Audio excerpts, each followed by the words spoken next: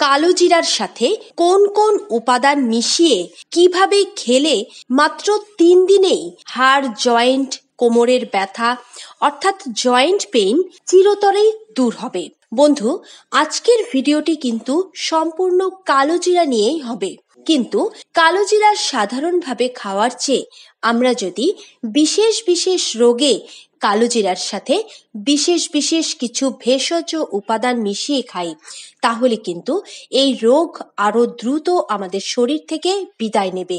এবং একবার বিদায় নিলে এই রোগের আর পুনরায় ফিরে আসার সম্ভাবনা নেই বললেই চলে। কালো জিরাকে সর্বরোগের মহাঔষধ বলা হয়। কিন্তু আমরা এক ভিডিওতেই কালো জিরার এত গুণ জানতে পারব না। এই জন্যই হাড় জয়েন্টের ব্যথা থেকে শুরু করে মোট দশটি রোগের কালো জিরার আলাদা আলাদা সেবন বিধি জানব।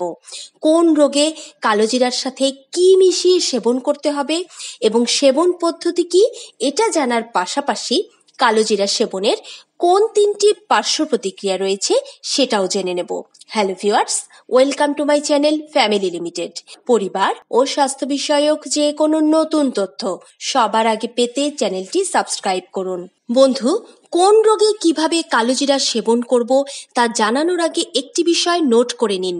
যে সকালবেলায় যখনই আমি বলব যে আপনাকে কালোজিরা সেবন করতে হবে, তখন অবশ্যই আপনি সকালে ঘুম থেকে উঠে খালি পেটে মুখ না ধুয়ে বাসি মুখে হালকা গরম পানি পেট ভরে পান করবেন এবং তার আধা ঘণ্টা পরে এই কালোজিরা সেবন করবেন এবং এই কালোজিরা সেবনের আধা ঘণ্টা পরে আপনি অন্য যে কোনো খাবার খাবেন তাহলে চলুন বন্ধু, আমরা ধাপে ধাপে জেনে নেই কোন রোগে কীভাবে কালোজিরা সেবন করব। পিঠ, কোমর, হাড়, জয়েন্টের ব্যথা দূর করার জন্য কালোজিরা সেবনের এবং বাহ্যিক ব্যবহারের বিধি রয়েছে।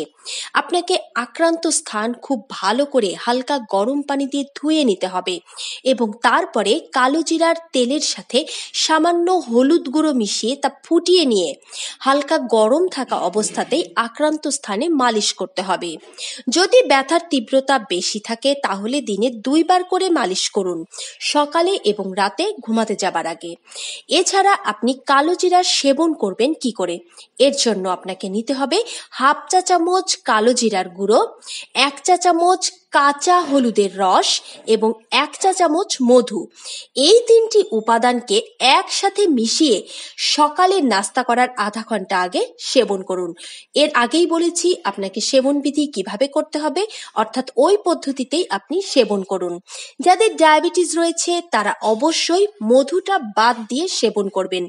এইভাবে টানা তিন দিন সেবন করলেই আপনার দেহের এই বাত ব্যথা দূর হয়ে যাবে।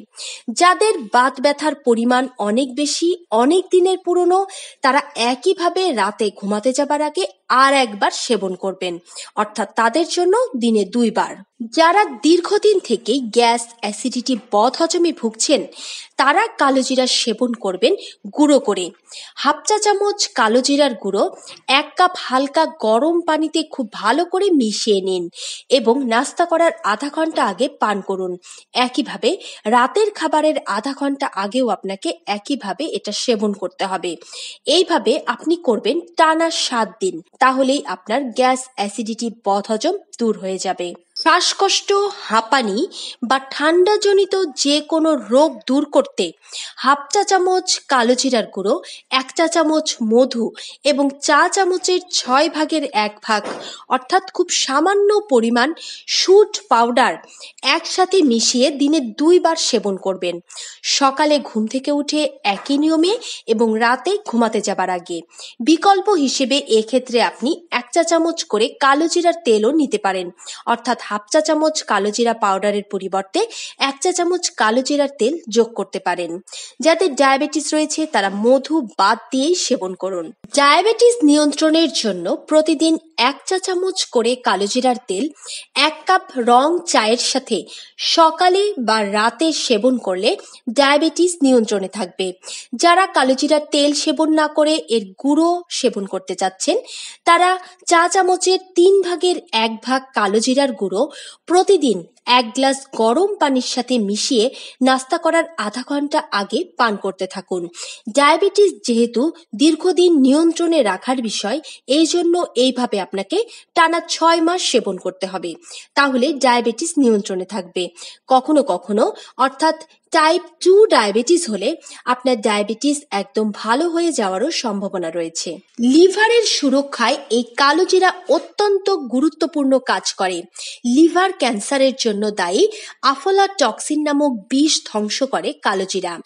লিভারের যে কোনো রোগ, অর্থাৎ জন্ডিস বা ফ্যাটি লিভার সহ সকল প্রকার রোগ দূর করতে কালোজিরা আপনাকে সেবন করতে হবে।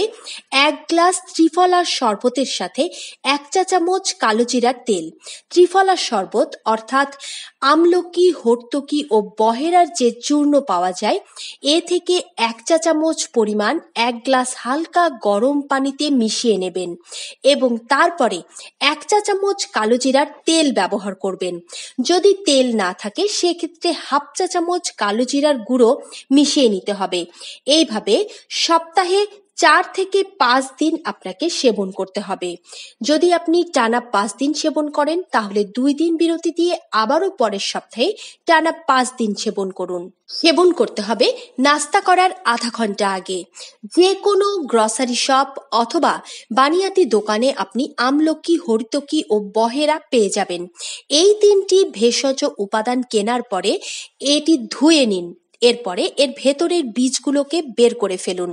বীজ বের করা অবস্থায় আপনাকে শুধুমাত্র ফল ত্বক, অর্থাৎ আমলকি, হর্তুকি, বহেরার যে ওপরের ত্বক রয়েছে, এই ত্বক তিনটি সম পরিমাণে নিয়ে এগুলো চূর্ণ, অর্থাৎ গুঁড়ো করে নিতে হবে। কোনো ধরনের ভাজার দরকার নেই, শুধুমাত্র এগুলোকে গুঁড়ো করে নেবেন এবং এই গুঁড়ো পাউডার আপনি এক মাস সংরক্ষণ করতে পারবেন। উচ্চ রক্তচাপ এবং হাই কোলেস্টেরল অর্থাৎ দেহের খারাপ কোলেস্টেরল দূর করার জন্য এক চা চামচ কালোজিরার তেলের সাথে এক চা চামচ মধু মিশিয়ে সকালে নাস্তা করার আধা ঘণ্টা আগে সপ্তাহে টানা পাঁচ দিন সেবন করুন। এইভাবে পাঁচ সপ্তাহ সেবন করতে হবে। দেহের সকল রোগ জীবাণু দূর করতে এবং রোগ প্রতিরোধ ক্ষমতা বাড়াতে হলে নিয়মিত কালো জিরা খেতে হবে। এক্ষেত্রে এক চা চামচ কালো জিরার তেল অথবা হাফ চা চামচ কালো জিরার গুঁড়ো, এক চামচ মধু সহ প্রতিদিন সকালে নাস্তা করার আগে সেবন করুন। যে সব রোগের কথা বললাম, এই সকল রোগ তো দূর হবেই। সাথে আপনার দেহে কোনো ধরনের রোগ জীবাণু ও ভাইরাস বাস করতে পারবে না। স্মরণ শক্তি বৃদ্ধি করার জন্য কালো জিরার তেল নিতে হবে এক চা চামচ। এতে মেশাতে হবে এক চা চামচ পুদিনা পাতার রস এবং এক কাপ কমলার রস। এই তিনটি উপাদান ভালো করে মিশিয়ে নিয়ে প্রতিদিন আপনাকে খেতে হবে দুইবার করে। সকালে নাস্তা করার আগে এবং রাতে ঘুমাতে যাবার আগে। যদি এইভাবে সেবন করতে পারেন, তাহলে আপনার স্মরণশক্তি বৃদ্ধি পাওয়ার সাথে সাথে রাতের ঘুম অনেক ভালো হবে। কালোজিরা নিজেই একটি অ্যান্টিবায়োটিক বা অ্যান্টিসেপটিক। মস্তিষ্কের রক্ত সঞ্চালন বৃদ্ধির মাধ্যমে এটি আপনার স্মরণ শক্তিকে বহুগুণ বাড়িয়ে দেবে। দাঁত, ব্যথা, মুখগহ্বরের যে কোনো রোগ দূর করতে এক চা চামচ কালোজিরার পাউডার অথবা এক চা চামচ আস্ত কালোজিরা হাফ লিটার পানিতে পনেরো মিনিট ধরে ফুটিয়ে নিন। তারপরে এটি ছেঁকে হালকা গরম অবস্থায় দিনে দুইবার করে কুলকুচু করুন। এইভাবে করলে দাঁতের ব্যথা সহ মুখের যে কোনো রোগ দূর হবে। কালোজিরা সেবনের তেমন কোনো পার্শ্ব প্রতিক্রিয়া নেই। তবুও যাদের হাত পা জ্বালা করা অর্থাৎ ইনফ্লেমেশনের সমস্যা রয়েছে, গা, হাত পা জ্বালা পোড়া করে, তাদের কালোজিরা না খাওয়াই ভালো। আর দুই বছরের নিচের কম বয়সী বাচ্চার কালোজিরা সেবন করা যাবে না। গর্ভাবস্থায়ও কালোজিরা সেবনের ব্যাপারে সচেতন থাকবেন। তখন মাত্রা কমিয়ে সেবন করতে হবে অথবা আপনার বিশেষজ্ঞ ডাক্তারের সাথে পরামর্শ করে কালোজিরা সেবন করুন। কালোজিরা সম্পর্কিত আজকের ভিডিও ভালো লাগলে অবশ্যই লাইক করুন, বেশি বেশি শেয়ার করুন। যদি কিছু জানার থাকে তাহলে অবশ্যই কমেন্ট করুন। ধন্যবাদ, ভালো থাকবেন।